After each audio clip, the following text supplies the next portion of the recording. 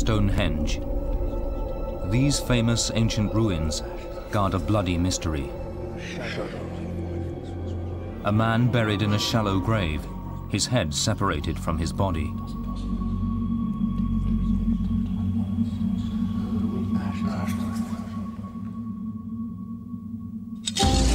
Now forensic science can reveal who this man was, when he lived, and how he died. Unearthing new knowledge about Stonehenge and a system of law, order, crime and punishment that survives today.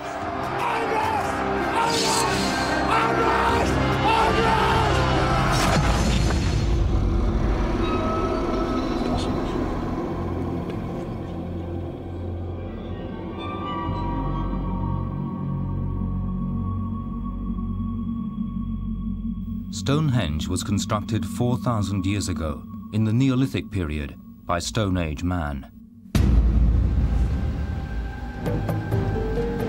Mike Pitts is an expert on that period and a Stonehenge specialist. As an archaeologist, he's directed his own excavations in the shadow of the stones, but now he's on the trail of a murder mystery at this famous site.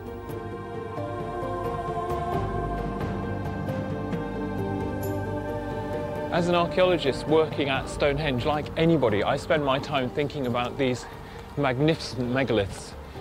But it's strange now, I turn my back on them and leave the circle. And I'm walking out towards Amesbury and the location of this grave, which is down here. There'd been ancient human bones found at Stonehenge before, but this was different cramped into a shallow grave less than two feet deep, this was the first ever complete skeleton to be recovered from Stonehenge. Stonehenge is unique. Anything buried in the ground at Stonehenge has to have had a special significance, and there has to be something very strange and special about the fact that people chose this particular spot to bury this particular man. The skeleton was discovered almost 80 years ago during the largest excavation ever undertaken at Stonehenge. On November 3, 1923, when Lieutenant Colonel William Hawley had been digging on the site for over three years, he made his momentous find. Using a now discredited technique based on race typing through skull shape, the skeleton was catalogued as a British man from the Roman period. It was boxed and stored away at England's Royal College of Surgeons. But in 1941, the college took three direct hits during the Blitz. Archives were almost totally destroyed. The skeletal treasure was lost to archaeology before it could be examined by modern science. Then Mike Pitts came on the scene. He found correspondence that he believed located the Stonehenge skeleton in the storerooms of London's Natural History Museum. If he was right, the bones must have been moved before the bombs fell. The skeleton may have survived. But Mike wanted to prove it was the Stonehenge skeleton, so he called in Jackie McKinley, an osteoarchaeologist, an expert on human remains. On examination, distinct features of the skeleton catalogued as 4104 matched those noted by Hawley and confirmed it was the same skeleton. The victim was a healthy male, aged about 30. Oh, here he is then. He's not a big butch chap. You know, I don't think he's done a lot of weightlifting. Stature-wise, mm. um, well, he's shorter than you, basically. yeah. I mean, that's if you a, if you were to compare, that's his, that's the femur, and if we were to that's what this say, for here. instance, compare where you see your your knees actually considerably yeah. higher up than that. In fact, on, on, he's actually shorter than me. Shorter than you. So he's yeah. probably about sort of five, five, yeah. five-ish. I mean, we can take we could take measurements on that and work out what. The but there were also clues about um, how he had died. The, the, interesting thing that did strike me was in here. Now, these are the neck vertebrae. That's what you call the atlas. That's basically right. what your head sits on, right. the axis that it pivots on. But down through there, when you get to the fourth one down, it's um, it's not quite all there. This is the front of the vertebra where the, where the vertebral body is. That's where the spinal cord goes. This is the, the spine that you can feel at the back. As you can see, is a very clean cut that's gone across that part of the vertebra. So it's gone right across that, that hole in the middle, so Yeah. it would have gone through the spinal It would have cord. gone through the spinal cord. So if yeah. he wasn't already dead, he would certainly have been dead after that blow. A beheading at Stonehenge, thought to be in Roman times. Mike now has a victim and a violent death. But he needs to piece together evidence to uncover how and why this man met his fate. If we take the cut vertebra, which is this one here, the fourth one, and the one above it, now I'm going to try and hold them the right sort of distance apart. And obviously, there's a space between them because you've got to remember you've got the the um, intervertebral disc in there, so there is a certain amount of space between. So between it's a very it. thin blade. It, it looks more like a blade than, say, something he- really hefty like an axe, I suspect. Um, So something more like a sword or a machete. rather- yeah, a, a, a, a, a real blade as opposed to a really heavy chop chopping thing, basically.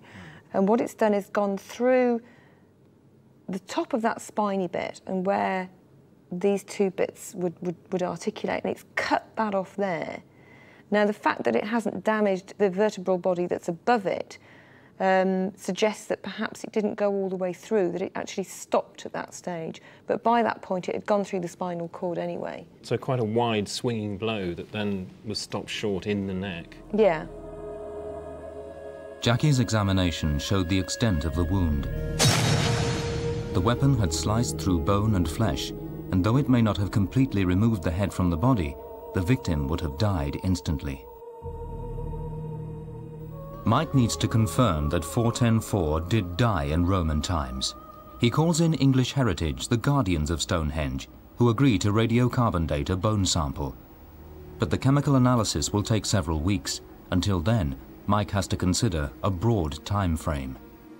We can see from the wound that the man was killed with a very sharp, probably steel blade. We don't have those before, for the sake of argument, say 200 BC. It's certainly not contemporary with Stonehenge, uh, which is 4,000 years ago.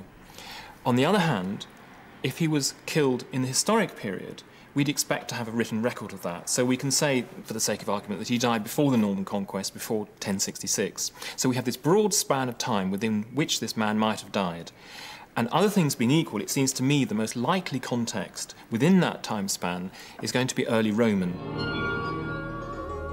The skeleton's original cataloguing as Roman British was supported by finds of Roman pottery and coins around the grave, which seemed to indicate some kind of activity at Stonehenge during the Roman period. The Romans invaded Britain in AD 43 under the Emperor Claudius. Their occupation lasted nearly 400 years. It was a time of conflict, a time of violent death, as the invading legions encountered determined opposition from indigenous British tribes.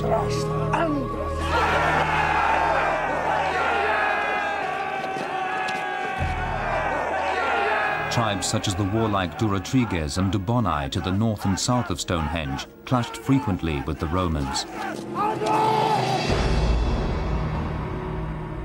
Against this background, Mike Pitts identifies three favoured explanations for a beheading at Stonehenge at this time. Evidence of all three lies close by at Cirencester, a key centre in Roman Britain. Here, there is evidence of decapitation through battle, through execution, and in funeral rituals. But which of these explains the death at Stonehenge?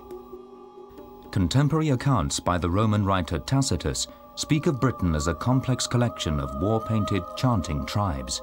Battles were frequent, and death was common. So was 4104 the victim of a battle between invading Romans and British tribes?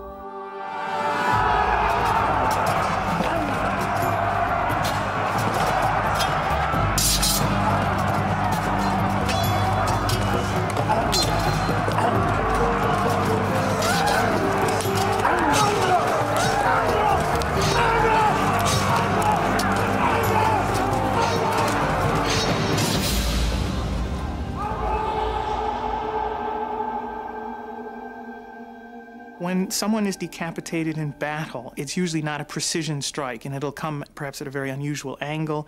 Um, it, it will be directed perhaps more at the head and neck, and the neck just happens to be that entity which catches the main force of the blow.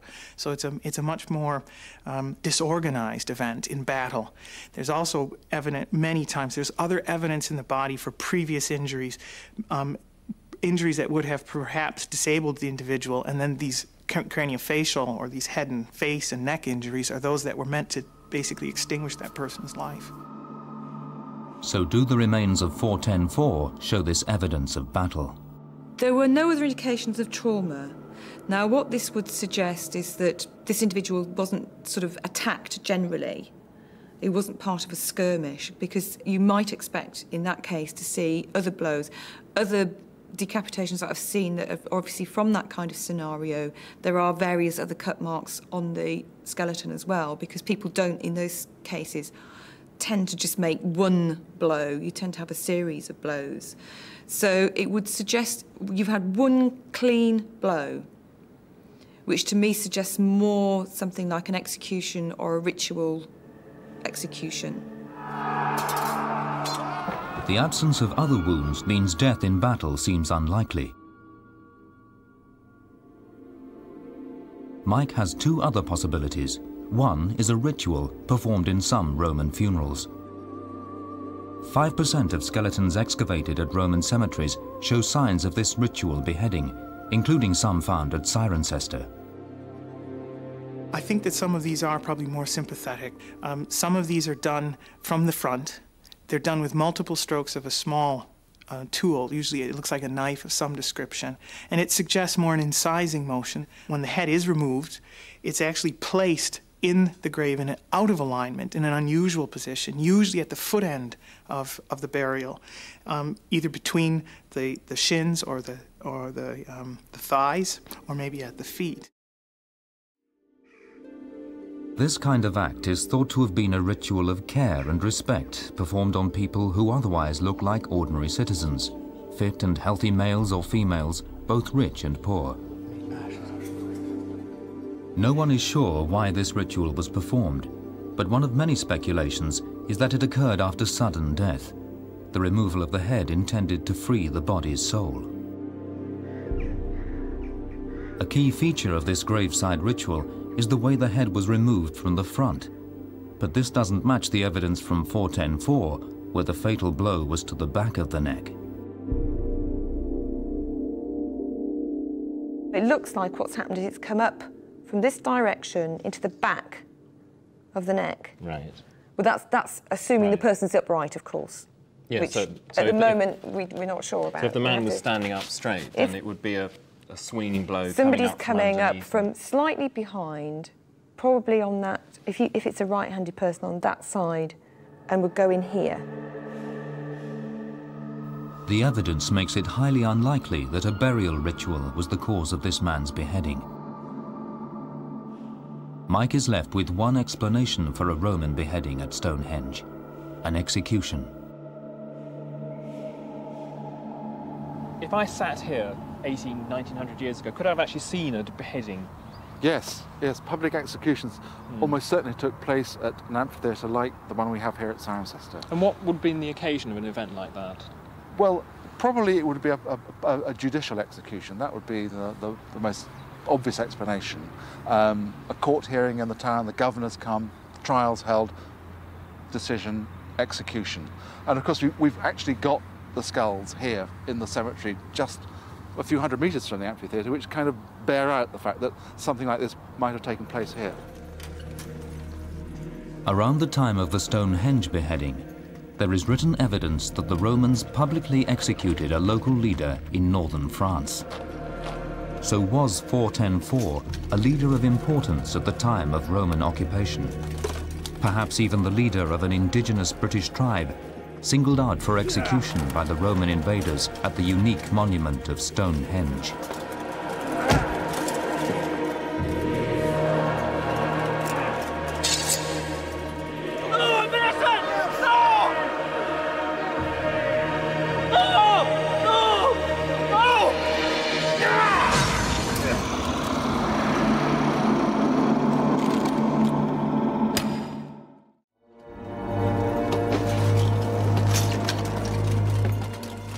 Suggests a possible Roman execution at Stonehenge.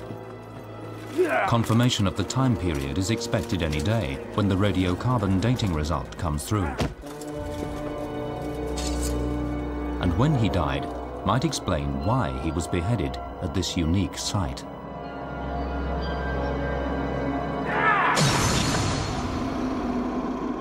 What you're trying to do is work out a scenario and what happened in that scenario.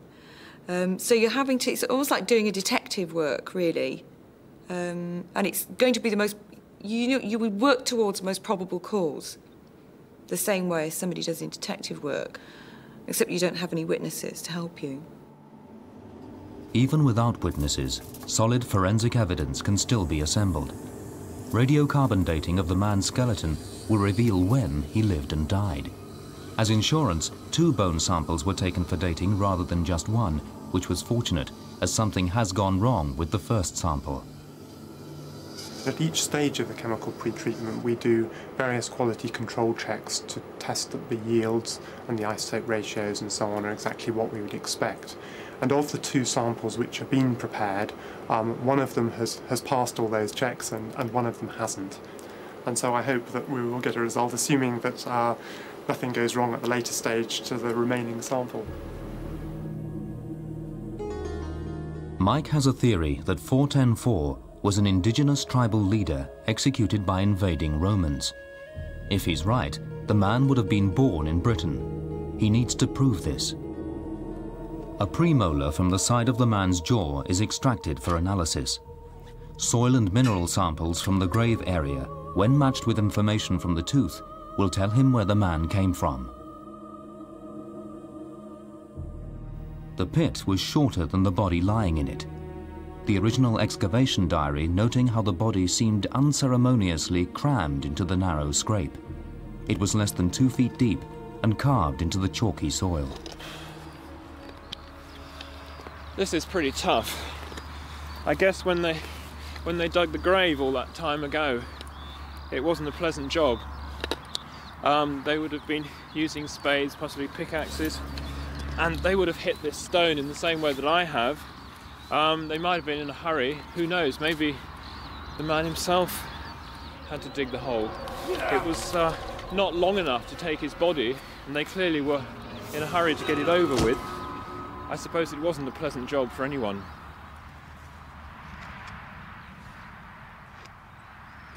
This little container has been specially cleaned in the laboratory so that it is completely uncontaminated. And uh, I'm going to stick this right into the centre of the core of the soil so we can get a, a clean soil sample.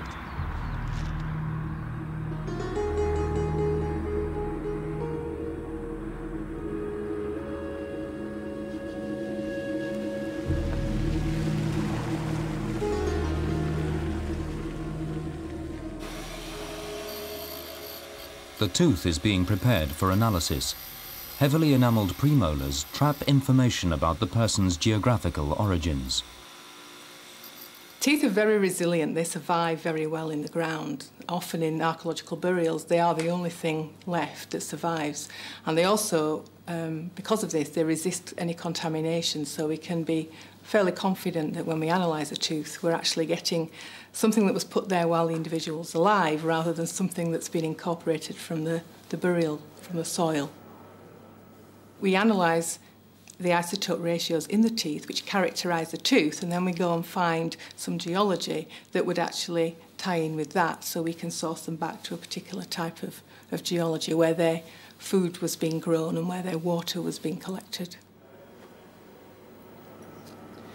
The geology of the United Kingdom is very diverse. It varies over quite small scale, actually. So you can move from one area, say on the South Downs, up to the Midlands, and you would be living on a completely different geology, and the, the isotope ratios you get from your food and water would be, would be very different. So we can actually track somebody's movement uh, over quite small scales. While the tooth analysis is carried out, Mike gets an important lead. 25 years before he discovered the bones, a now deceased amateur archaeologist named Wystan Peach had located the skeleton and paid for his own private carbon dating. But carbon dating results in Peach's day were much less specific and often unreliable. No records remain of Peach's test result, but a letter has been found at London's Natural History Museum which might give Mike a lead. Hi, Chris. Oh, hi, Mike. Yeah. How you doing? Good to see you. Yeah, Okay. fine. Now, I hear you found some letters from Wystan Peach. I have, yeah. Um, not not a lot, I have to say, but amazingly, from the 70s, there are there are a couple of letters. Well, that's more than um, we had before. Well, that's right. Yeah, it's it's incredible. I used to keep the stuff filed Hmm. in these box files, and uh, I'll just go through alphabetically.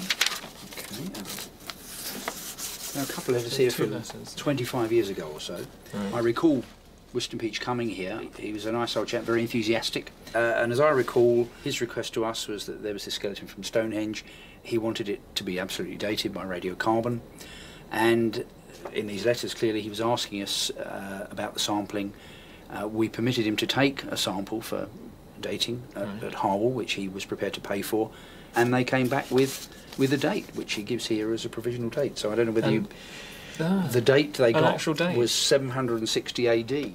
Well, that, this is a real tease because on the one hand, it, it looks like a precise date, but on the Yes. other hand, without the details and with this word provisional, Mm. It, it's it's actually to me it's saying I can't even assume now that the guy was Roman. Yeah. Up to this point, I was imagining he was Roman. I think now perhaps I might say he Mm. could be Roman or he could be Saxon. Yes. That's opened up the the Okay. time span even more. Mike had been convinced that his skeleton was the victim of a Roman execution at Stonehenge and expects the radiocarbon dating underway to prove that he is right. But the Peach letter means that he now has to consider a later Anglo-Saxon killing as a possibility.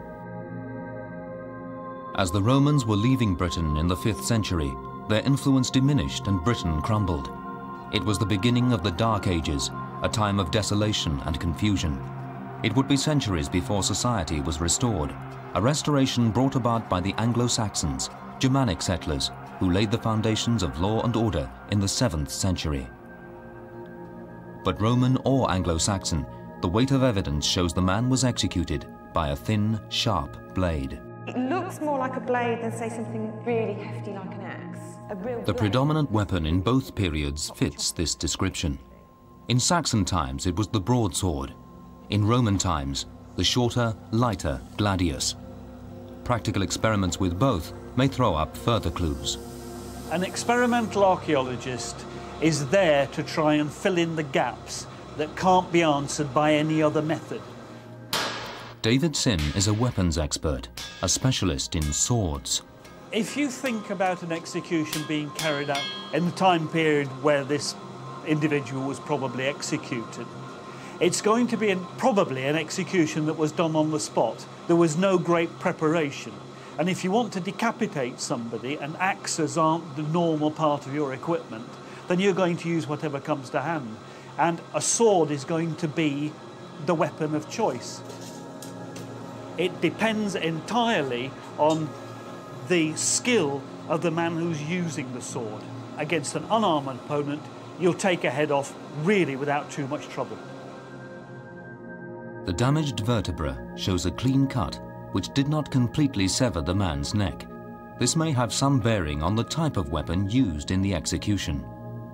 David has assembled an armory for testing, including the Roman gladius and the Saxon broadsword, but this time it's sheep necks that get the job. To test whether it was a sword and not a heavier weapon, David first tries the axe. When you use the axe, you get an enormous amount of energy. It will go straight through a neck, and I felt it would probably cut through two without any trouble at all. From what I know of the characteristics of the wounds we're looking at, it's not the kind of wound that would be produced by an axe. The gladius was the standard weapon of Roman legionaries. Designed primarily as a short one-handed stabbing weapon, could it deliver the cutting power needed to decapitate?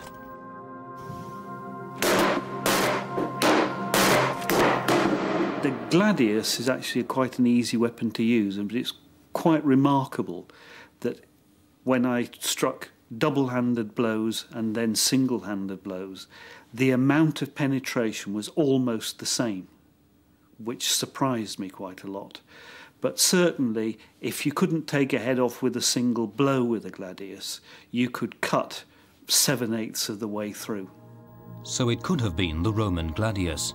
Longer and heavier, the broadsword was the main weapon of Anglo Saxon warriors. Well, the broadsword was certainly the easiest to use.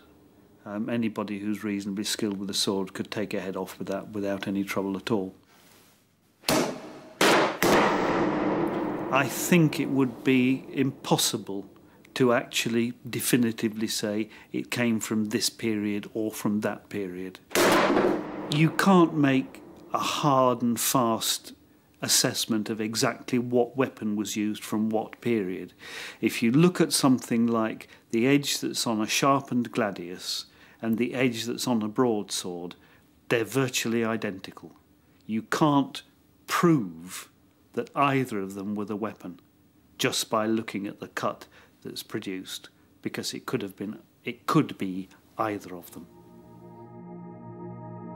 Even if the weapon cannot be determined, Mike still hopes to discover how the beheading took place. A nick on the lower jaw seems to provide a clue. On the underside of the mandible, here, there's Right. a tiny little nick, quite a, sh- Right, quite a yeah. sharp. Can you see Yeah. So that's basically in here. Right. Okay, so it's, So it's quite very- close to the ear. Yeah, it's just very underneath. corner Yeah. of the mandible there. If I can just swap fingers round. Okay, and I'll bring up the jaw. Right. So tell me where Yeah. to put this. It'd be roughly there. Right. Okay. Which is, which brings the two cuts onto Yeah. the same level. The cut to the vertebrae is here, and the little nick on the Mm. mandible is there. But it's a matter of what the scenario was, whether it happened all in one go. Right. Do you think it could have done? I think I think it could. The combination of wounds suggests two possible positions, either standing upright or kneeling, which would suggest a controlled execution. Do you think the bones can help us actually tell what position the whole body was in? Well, the, the only way to really do that is test various ways round because obviously this could have worked in two ways. If you were, if somebody was standing upside, if say this man was attacked by an assailant, assailant from behind, and that, that blow came up and it would come up, uh, as I say, at that angle, hit there.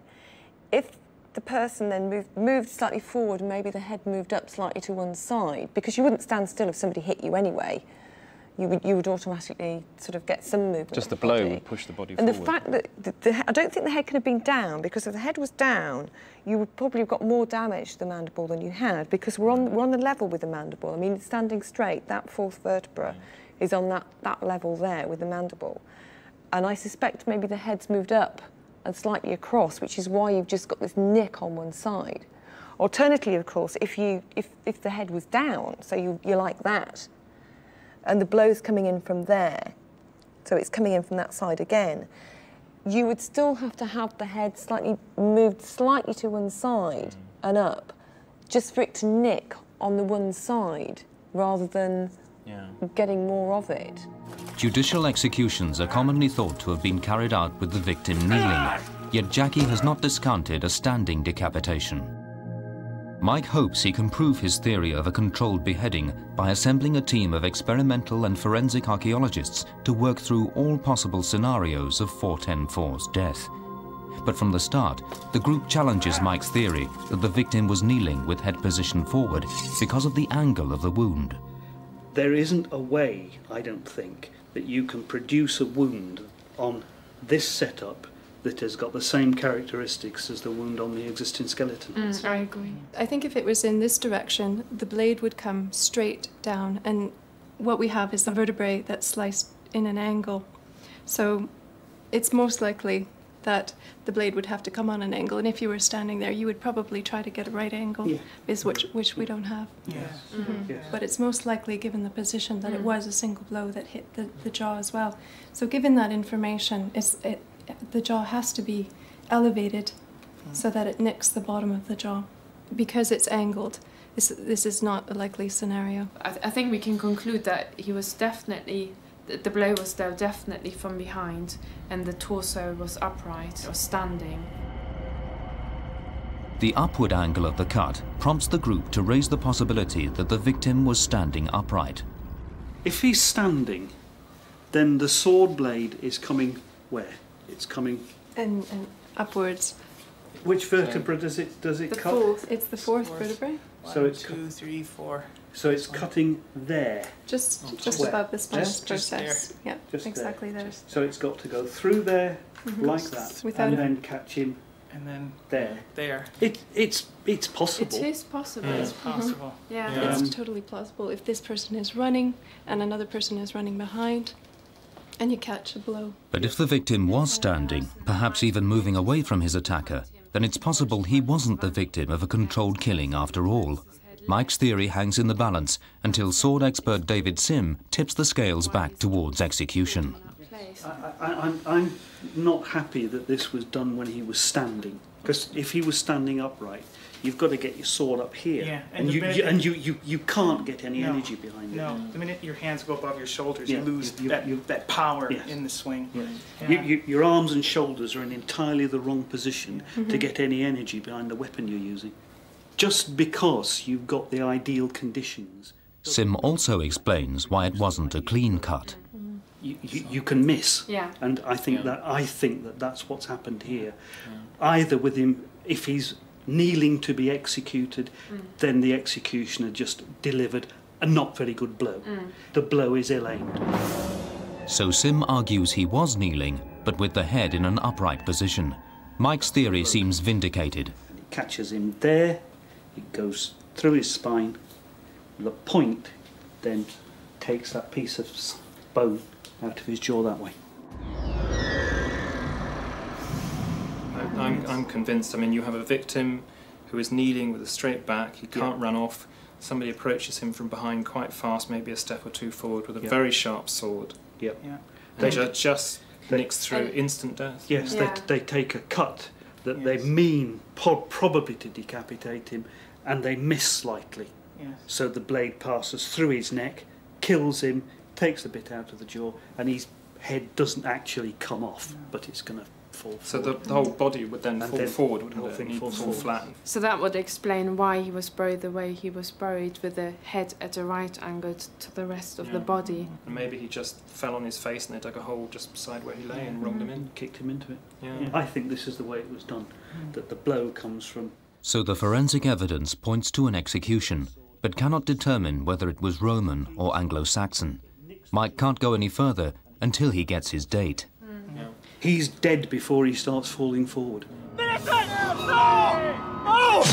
I keep thinking what sort of man this was. I like to try and visualize his face, his personality, and his dress. But until we have a date, I have to stop myself getting too clear in my mind exactly who he was and what he was doing, because that is going to profoundly affect the context of the individual, the sort of person he was. Contemporary radiocarbon dating is sophisticated and precise. It will reveal a date pinning the execution at Stonehenge to either a specific period of Roman conflict or Anglo-Saxon order.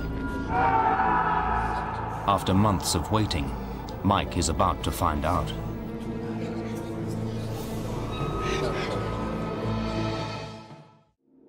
Almost a year to the day after Mike Pitts rediscovered the Stonehenge skeleton, he is about to find out when the man was executed. I've got my ideas about what I think this date should be, um, based purely on archaeological judgment, but I admit there is virtually no hard evidence whatsoever. So it's pure intuition, and intuition, of course, goes wrong, so the date's going to be something else. So it's, it's, kind of, it's kind of exciting. And I'm nervous. Mike has two probable scenarios a Roman period beheading or one from the later Anglo Saxon period. Everything will be revealed by the result.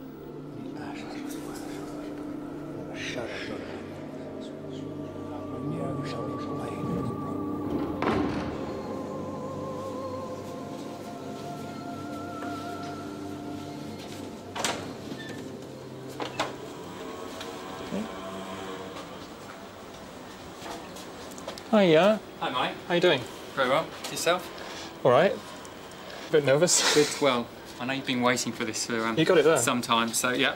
Um, not going to show you just yet. Um, these are the results from Oxford Right. of the um, radiocarbon analysis. They've just come through, and the radiocarbon age is 1359 plus or minus 38 BP, which, when calibrated, gives a date range of A Saxon. yes, it's um, right Cal AD 620 to 770. Right. The Stonehenge killing was an Anglo-Saxon beheading. The Roman theories are discounted as Mike now confronts the later Anglo-Saxon period in more detail. Mike's been given a time span of 150 years, but the date might be even more specific. All living things contain carbon, a proportion of which is radioactive and starts to diminish or decay after death. Carbon dating measures this decay and provides an estimate of when death occurred. But tree rings known to date from single years can also be analyzed for radioactive carbon. And when the results from known age tree rings are compared with data from the Stonehenge sample, a probability curve is produced which points to a much more specific date. We can see from this that the tree rings which match most closely to the radiocarbon date that we've obtained are the ones in the middle of the 7th century. The graph peaks in a very significant period in Anglo-Saxon history, around 650 to 690 AD. These 40 years marked a time of great change. A pagan society was being transformed by Christianity. At the same time as the Stonehenge beheading, the use of lavish pagan burial sites like that at Sutton Hoo in East Anglia was being transformed. Once the resting place of kings, they now had a darker purpose burial sites for outcasts. Burial sites that the new Christians hoped would damn them to eternity. What really surprised us was the find of some burials which were very plain, uh, just bodies placed in graves, no, no grave goods. They were buried crouching, kneeling, lying on the back, arms in the air, and the heads. Some of the heads were off, some of the heads were by the knees, some of the heads were in the right place but the wrong way round. 39 burials were found at Sutton Hoo, and there was evidence that gallows had once been on the site. The burials were in a ring, and in the middle of the ring were, were four post sockets. So we thought, ha, huh, uh, what must have happened here is that these people have been killed. It comes in with Christian kings, and they punish them twice. First by killing them, and secondly by burying them in a pagan burial ground. It's as though to say, right, you step out of line, you're not coming in with the new Christian kingdom. We bury you there. We bury you in the pagan burial ground.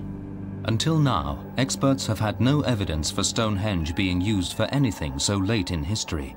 But perhaps its pagan significance gave it a sinister purpose under this new Christian Anglo-Saxon order. The position of this burial and um, the treatment of the corpse clearly indicates this is an outcast. It's a person that is um, being basically taken away from society and buried in a place outside of society's limits. So we're seeing, first of all, a clear image that Stonehenge has become associated with fearful and superstitious ideas, a place where a deviant can be executed and buried. And it would say about the person that, that they have actually, they have been a wrongdoer of some sort and potentially of some significance as well. So what had 4104 done to justify an execution at Stonehenge in late 7th century England? Change at this time was not just about religion. It was the beginning of land ownership on a grand scale, and with this came the law codes, detailing the first laws of this emerging nation, protecting ownership and punishing wrongdoers. The law codes describe a range of offences and what you've got to do to kind of um, make up for what you've done in incredible detail. Um, in, for, for, for, example, you, the, the, the, earliest Kentish laws of about 600 give you the penalty if you're walking along a street with a spear over your shoulder and you poke the fellow behind you in the eye with your spear, then there's a set payment for it. I mean, similarly, if you punch somebody and knock the teeth out, there's a set payment for that. Power was evolving from a patchwork of tribal chiefdoms. Boundaries were being established, often marked by dominant features in the landscape, like Stonehenge. 7th century England was divided into seven kingdoms. Wessex, which contained Stonehenge, was among them. Every kingdom was further broken down into districts known as hundreds, each of which was locally governed and controlled. We're effectively walking along the northern boundary of what was known as the Hundred of Swanborough in the late Anglo-Saxon period, and we know this largely through the evidence of Domesday Book, which lists the estates. It was the dawn of kingship, and these new kings needed a clear way of warning others to respect their territory and power. Kings need new forms through which to express their power and authority. They can't be everywhere at once. So the use of a gallows or the display of an executed criminal, it's a permanent and lasting display of your authority. You may be on the other side of the kingdom, but a rotting corpse or a mouldering head stuck on a stake, it sends a powerful message. So at this point in the Saxon document, it tells us there used to be a gallows here. Absolutely.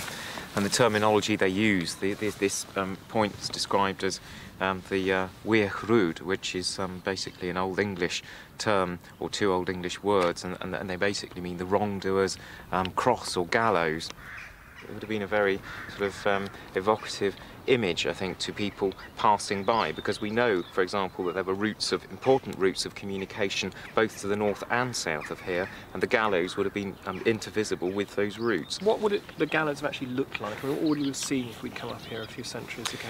Well, you would have had a double post gallows, very, very much unlike the, the sort of post-medieval single post gallows in the late Anglo-Saxon period. You have two substantial posts set into the ground, um, and an individual hanging, sometimes... What, with, a, with a post across the top? Top. A beam across the so, top. So in fact, very much like the stones at Stonehenge. So it's quite a frightening, sort of remote but dramatic physical representation of, of the law, if you like. Absolutely. Bodies were often left for a considerable length of time hanging from gallows, and we know this, of course, because the, when the corpses are eventually buried, we often find them with um, with the lower limbs missing, with the lower arms missing, so presumably they've been hanging um, as a form, of course, of a public display of, of a corpse for some considerable time. So there are a number of, of, of, excavated cemeteries in very similar locations to this, um, and the standard layout for these would be to find corpses buried often very shallowly, just below the turf, because mm. criminals, of course, being mm. at the very um, bottom end of the social scale, banished, outcast from society. Of course, you invest the minimum amount of labour when you bury them. And that's what we see, I suppose, at our grave at Stonehenge. Indeed, and very shallow graves, and very short graves in many instances, mm. the body cramped and crushed into the hole. So it looks like Mike Pitt's murder at Stonehenge was the execution of a wrongdoer. When Mike believed he was looking at a Roman killing, he'd called for a tooth analysis to prove the man was a Briton. That same analysis could now show if in Anglo-Saxon times the criminal was a local man who perhaps offended against his own community. This map summarises um, the strontium and oxygen data that we can refer to in interpreting the data from the teeth. The red contours here are contours of oxygen drinking water composition across Britain. The tooth that we analysed had a value of minus 7.4, right. which places it within this broad tract in the centre of Britain. However, if you look at the strontium composition of the tooth, which is going to reflect the person's diet, the water he drinks, the food he eats, that's related to the underlying soil and geology. Right. And using that, we can, we can restrict his, his likely childhood much more closely.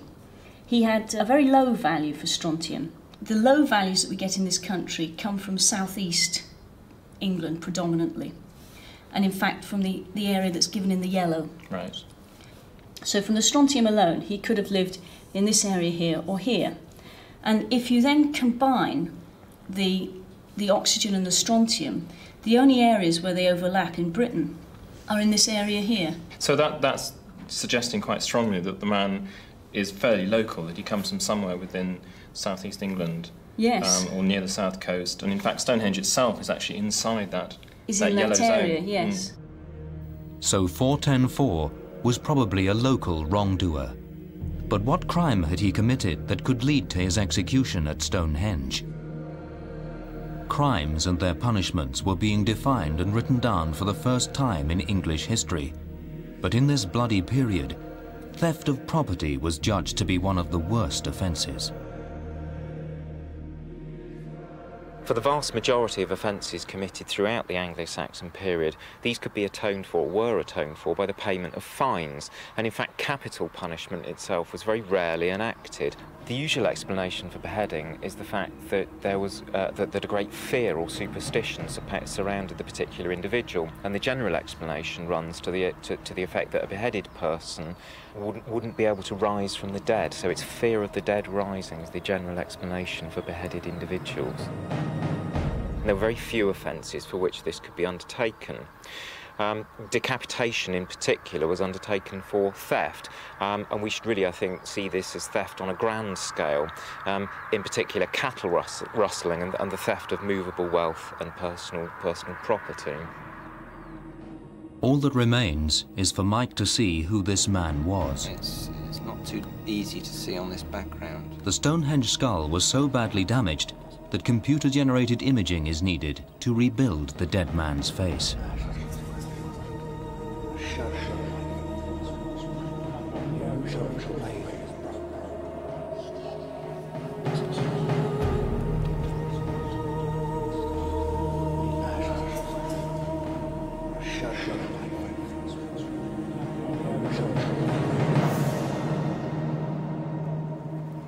Finally pinning down the death of this man has transformed the way I think about Stonehenge.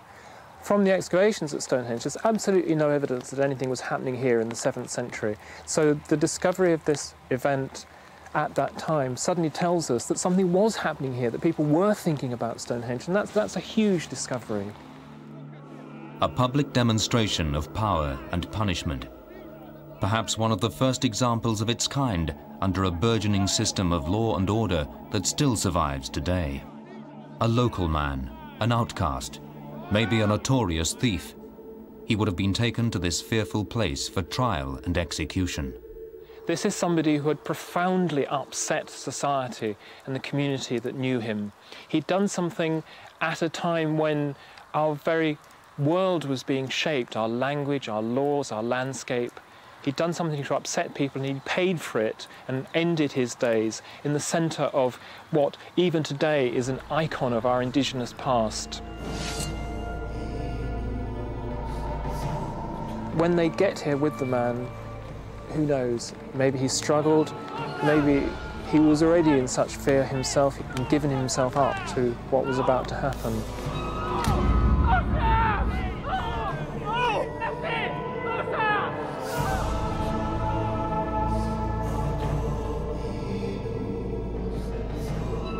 Whatever the man's crime, it was thought so serious by the community who tried him that they wanted his punishment to continue after death. The church would have nothing to say here, but the church will have her due. Banished from the new Christian burial grounds, his body was to be left to rot in a pagan wasteland where they thought his soul would be damned for eternity. Here, in this dark place.